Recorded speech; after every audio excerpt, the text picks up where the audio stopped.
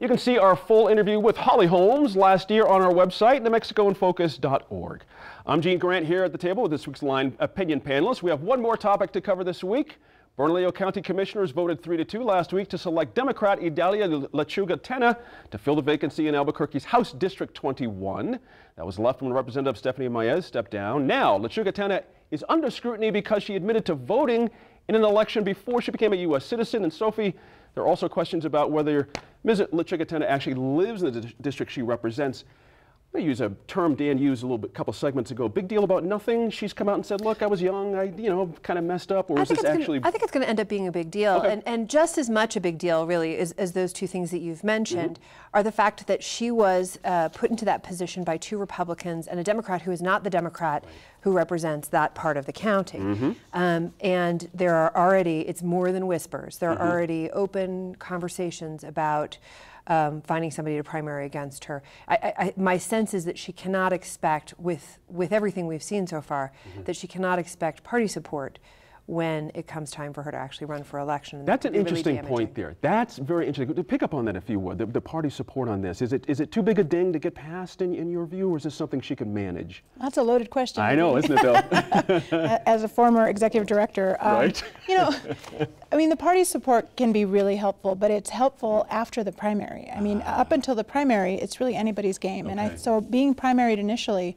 um, you know, she's going to have to put in a lot of work in order to to get there. And and I think that there's a lot of people already um, scratching their heads about, you know, how did she get in there in the first place? And mm -hmm. she mm-hmm. got two Republican votes, which doesn't bode well, I think, for her in terms of the Democratic Party, the party faithful. Sure. So I think she will have a challenge there. But, you know, my understanding is, and talking to some folks from that district, is that she actually has, has also been very active in um, organizing the um, International District Festival, apparently for many oh, years, okay, and she's been that. also a neighborhood leader um, so she's been active in her neighborhood association. Okay. So she actually does have some legitimate ties to the community. Right. Um, but I think that some of the other negatives um, are going to be exploited in the campaign. But is this something to be hung on forever in her life? Isn't there some point you can get past this, doing these kind of community things? I mean, well, I mean, I think part of the problem is that these things will, will be resurrected every time she tries yeah. to run for something. So she has to have something um, very clear to address it, maybe something to point to that she's done, and I think mm. she's going to be uh, she's going to have a challenge doing that. Mm -hmm. So it's something she's going to have to address. Interesting, Daniel. Well, I think that you know the interesting part is that now, you know, for years there's been talk about voter ID, passing voter air. ID laws. It's in the air. It's been yep. there forever. Yep. And the, the, the constant remark from from Democrats in the legislature was it doesn't exist. It doesn't exist. Mm -hmm. Now you're going to have someone in the legislature that Republicans say it exists. They're sitting right there. they said they did it. Yeah. And so I think this really causes a problem moving, moving forward.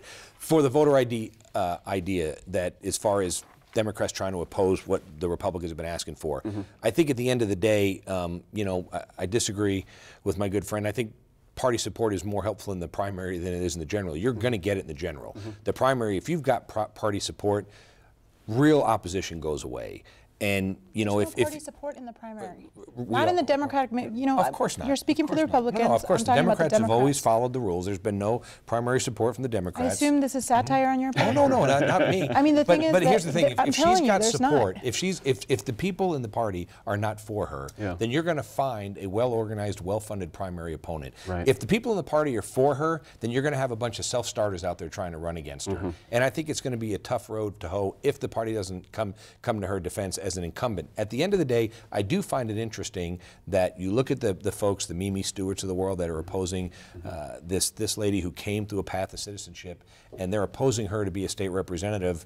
It just seems interesting that maybe it doesn't fit those people in the party's view of what they should be. So I think maybe maybe we should make a distinction because it sounded like there was a distinction, and, mm -hmm. and mm-hmm. we're not talking about the same thing.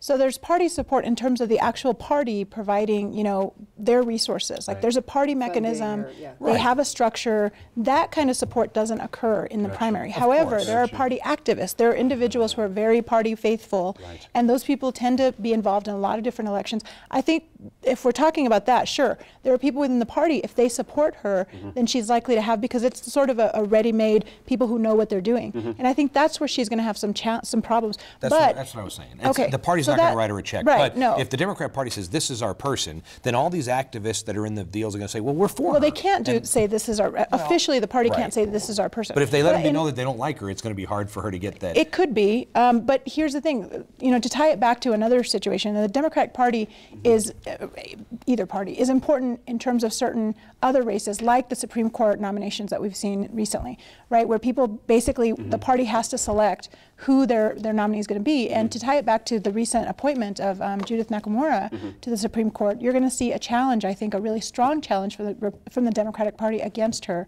um, in this next election. Interesting. Got to wrap. Thanks, guys. Good stuff on a Friday night. Really appreciate it.